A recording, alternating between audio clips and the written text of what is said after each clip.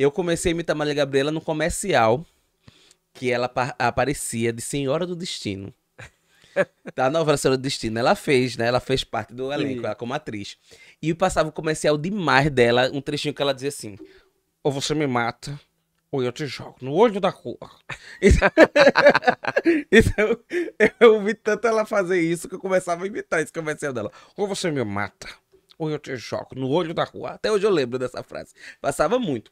Aí eu comecei a imitar Marília Gabriela daí, não foi imitando, mas tipo, Silvio Santos foi imitação da imitação, Caetano foi imitação da imitação, imitar Faustão, Marcelo Rezende, Datena. Sim. Imitava tudo isso. E claro que eu não, come- não continuei trabalhando com esse, essa linha de, de humor, aí fui perdendo, né, um pouco isso. Sim. Só fiquei com a Marília Gabriela.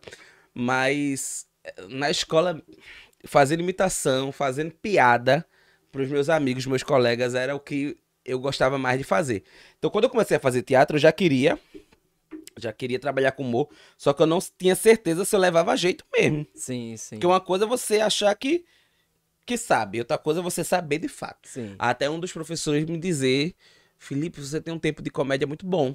Sim. Felipe é meu nome artístico. É, é o cavalo. É o cavalo. É o cavalo. É, Felipe, você tem uma- uma- um tempo de comédia muito bom, muito seu. Sim. Porque assim, era, era genuíno porque não tinha experiência, não tinha muita referência como eu tenho hoje, Sim. não sabia as técnicas e tudo mais. Então era uma coisa muito genuína, então era meu já, desde o primeiro curso de teatro. Quando eu tive esse feedback, eu digo, pô, é isso aqui que eu queria fazer, trabalhar com comédia.